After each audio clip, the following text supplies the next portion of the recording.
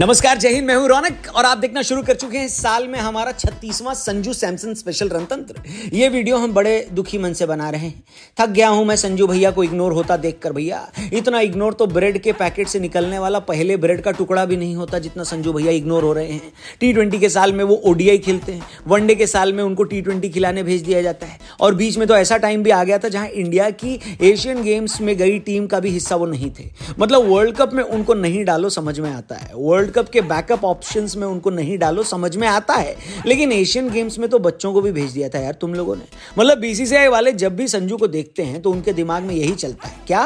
सबकी इज़्ज़त करेंगे तो लूटेंगे किसकी? और अब मुझे यकीन हो चला है कि कुछ तो गड़बड़ है, वरना ऐसे कैसे हो सकता है कि लगभग हर परफॉर्मेंस के बाद संजू सैमसन को बिना वजह ड्रॉप कर दिया जाता है? माइंड यू संजू सैमसन, अगर वाकई में ड्रॉप करने लायक होते तो वो एक आईपीएल टीम के कप्तान न होते। बताइए। इसलिए मैंने सोचा कि आज एक ऐसी वीडियो बनाई जाए जिस पर मुझे एक व्यू चाहिए, और वो व्यू संजू सैमसन का होना चाहिए। यानी ये वीडियो हम संजू सैमसन के लिए बना रहे हैं, और इसमें उनको सलाह दी जाएगी कि इंडियन टीम में सेलेक्ट होने के लिए उनको क्या करना चाहिए। तो आप लोग इस वीडियो को इतना फैलाइए कि संजू भाई तक पहुँच जाए, ठीक है? सलाह number one social media Sanju भाई का मैं इंस्टाग्राम देख रहा था। इस आदमी ने एक भी ऐसी रील नहीं बनाई है जिसपे मोए मोए किया गया हो। न ही इसने बादल बरसा बिजुरी पर नाचा है, न इसने get ready with me trend में पार्टिसिपेट किया है। ऐसे होगी सिलेक्शन संजू भाई, दिक्कत ये है ना कि आप खाली पिच पर खेलते हुए दिखते हो। पिच से ज़्यादा टाइम इंस्टाग्राम पे दिखो। परसेप्शन की दुनिया है, हर आदमी सोशल मीडिया पर है तो आपको सिलेक्ट करने वाले भी वही होंगे। रील देखकर अपने अंगूठे की रेखाएँ मिटा रहे होंगे। इसलिए वही दिखो। मुझे नहीं लगता कि ग्राउंड पर पसीना बहाने से कुछ होने वाला है। फालतू में जिम जाकर लोहा उठाकर थक रहे हो।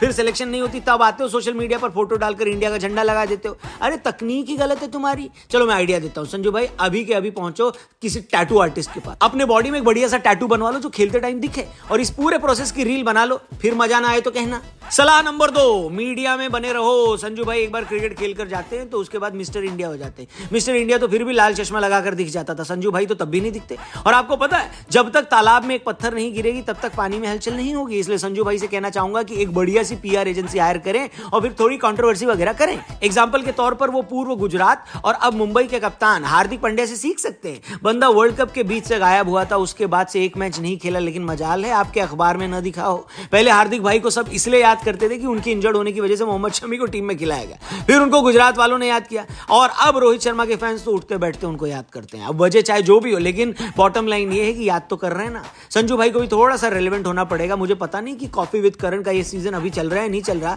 लेकिन अगर चल रहा है तो एक आध चक्कर लगा के आप फ़ेमस हो सकते हैं भैया। सलाह नंबर तीन, थोड़ी दोस्ती बनाएँ। संजू की ट्विटर टाइमलाइन देख लो तो इस साल उन्होंने खाली तीन लोगों के साथ फ़ोटो शेयर करी एक तो धोनी है, जो बेचारे खुद रिटायर हो चुके हैं। उनके साथ दोस्ती बनाकर क्या फ़ायदा? दूसरे शेन वॉटसन ने जो ऑस्ट्रेलिया से हैं, संजू को ऑस्ट्रेलिया की टीम से थोड़ी ना खेलना है। वो तो फ़ोटो ही बेकार रही। तीसरी फ़ोटो उनकी शिखर धवन के साथ है, जो बेचारे उनकी तरह खुद टीम से बाहर चल रहे हैं। संजू भाई, लगता है रिश्ते बनाने में यकीन नहीं रखते आप। लेकिन रखना चाहिए, लड़कों की दोस्ती तो और भी बढ़िया होती है। चहल की कुलदीप के साथ है, हार्दिक की के राहुल के साथ है, लेकिन शायद ही किसी को पता हो कि संजू सैमसन का बेस्ट फ्रेंड क्रिकेट में कौन है। है? ये पता चलना चाहिए। ऐसे थोड़ी ना चलता है। मेरे हिसाब से इन सारी सलाहों को संजू सैमसन को कायदे से फॉलो करना चाहिए। जब कोहली सेंचुरी मारते हैं तो सब कोहली की सेंचुरी की बात करते हैं। यहाँ संजू भाई ने इतनी बढ़िया सेंचुरी मार दी। उसके बावजूद डिस्कशन ये हो रहा है कि संदीप महेश्वरी और विवेक बिंद्रा की लड़ाई हो रही है, है?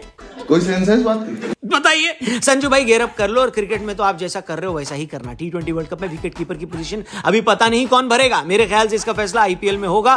के राहुल ऋषभ पंत ईशान किशन जितेश शर्मा ये सब कंपटीशन में अगर आगे निकलना है तो फिर आईपीएल में कर दो चढ़ाई। और पीछे पीछे जो मैंने ऊपर तीन सलाह दी है वो तो एडिशनल है ही। बाकी वीडियो अगर संजू भाई तक पहुँच गया तो वो कमेंट भी पढ़ेंगे। इसलिए आप भी कमेंट ऐसे ही लिखिए कि संजू भाई पढ़ रहे हैं। कल लौटते हैं एक और नई वीडियो के साथ। जाने से पहले चैनल को सब्सक्राइब करना। फेसबुक पे देख रहे हो तो पेज को ज़रूर लाइक करिएगा। See you tomorrow thank you for watching जय हिंद। जय भारत।